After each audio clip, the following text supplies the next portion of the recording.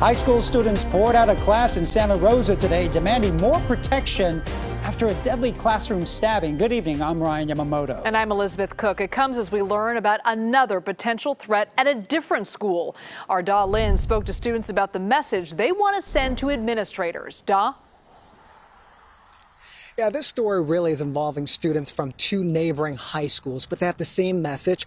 If they don't feel safe, then they can't focus on learning. Now, while the students at, at the neighboring Maria Carrillo High School were staging a walkout in protest, students here at Montgomery High were gathering to support each other. Before they marched, Maria Carrillo High School students rallied on campus to demand better security and communication from administrators. For God's sakes, change the alarm tone. Why is the sound the exact same for a lockdown and a fire? I'm sorry, my response is going to be very different if there's somebody dangerous on campus or if there's a fire. Students say a campus fire and a hoax involving school shooting happened recently.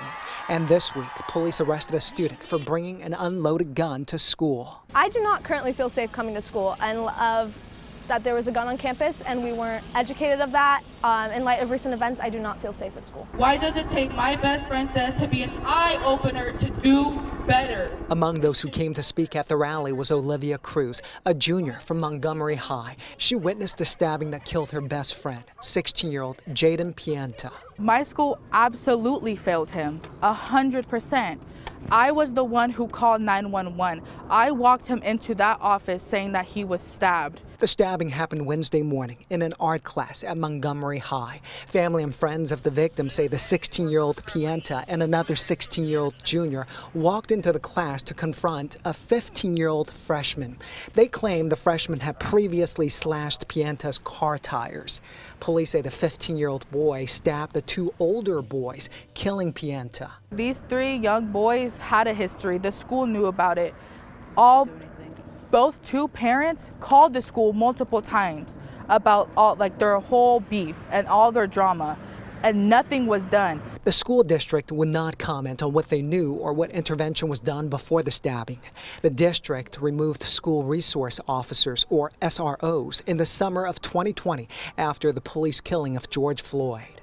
Montgomery High students also claim they don't have security guards on campus. We weren't aware of any specific instances or issues between those students. The police department wants to bring SROs back. They believe it would have made a difference. We've never had something like we had on Wednesday in any of our schools ever. It doesn't mean you're not going to have violence. We've seen that nationwide, even with SROs on campus.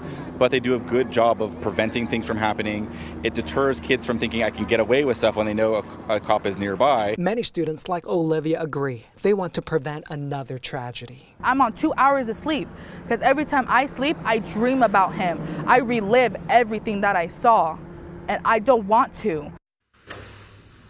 At the gathering here this afternoon at Montgomery High, grief counselors and a therapy dog met with the students. Now, Montgomery High will reopen on Monday. Liz, uh, I understand the students plan to have a uh, walkout on Monday when the school does reopen.